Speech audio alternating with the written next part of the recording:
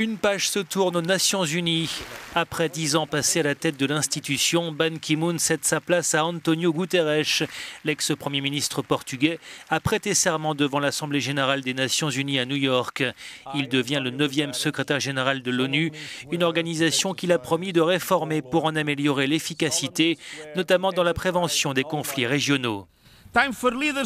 Il est temps pour les dirigeants d'écouter et de montrer qu'ils se soucient de leur propre peuple, de la stabilité mondiale et de la solidarité dont nous dépendons tous.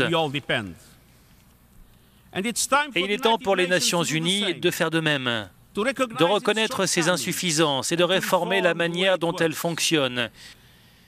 L'organisation est la pierre angulaire du multilatéralisme. Elle a contribué à des décennies d'une paix relative. Mais les défis surpassent aujourd'hui notre capacité à répondre. L'ONU doit être prête à changer. Crise syrienne, crise des réfugiés, multiplication des crises humanitaires, réchauffement climatique.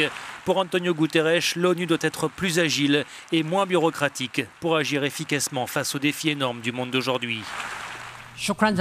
Ban Ki-moon, auquel il a rendu hommage, a été longuement ovationné. Merci beaucoup. Muchas gracias. Thank you.